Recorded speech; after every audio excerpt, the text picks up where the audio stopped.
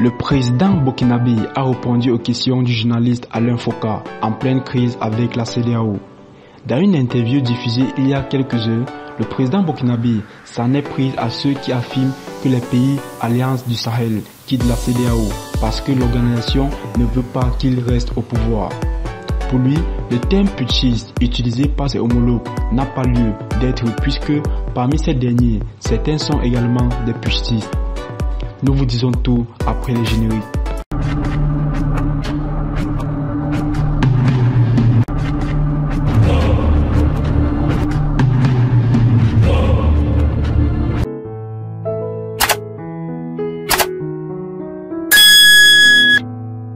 Selon le président Ibrahim Traoré, la situation actuelle ne relève pas uniquement d'une question de puissance civile et militaire. Il souligne l'utilisation des termes putschistes sert parfois de masque.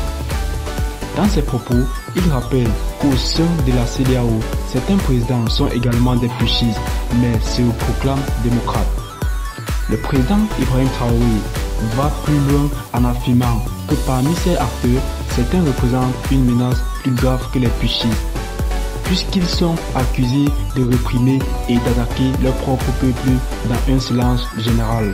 Le président Ibrahim Traoré, à la tête de la transition burkinabé, aborde plusieurs sujets cruciaux lors de son entretien avec Media, notamment la décision récente de s'arrêter de la CDAO, les défis sécuritaires du Burkina Faso et la création d'alliances des États du Sahel.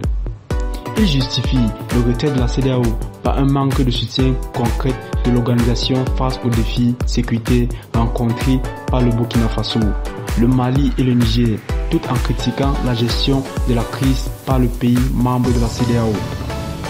Pour lui, il ne s'agit pas d'un coup de colère, mais un acte mûrement réfléchi. Ibrahim Traoré souligne l'importance de l'autosuffisance, de la sérénité, rejetant l'idée que les coups d'État soient une fin en soi, mais plutôt une réponse à une crise profonde.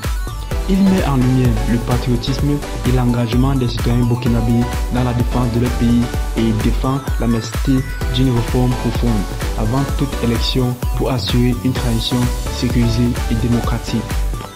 Le président a abordé également les relations internationales, notamment avec la Russie, affirmant que la coopération militaire avec ces pays ne signifie pas un changement de maître, mais plutôt une collaboration stratégique et pragmatique face aux restrictions imposées par d'autres partenaires traditionnels.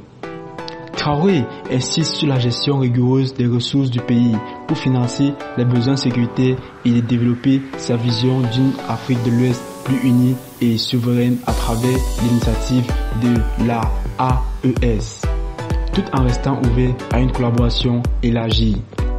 Quant aux relations de la France et l'Union européenne, le président Traoré n'a pas directement abordé ce point durant l'entretien, mettant plutôt l'accent sur la nécessité d'une autonomie et d'une solidarité africaine face aux défis communs.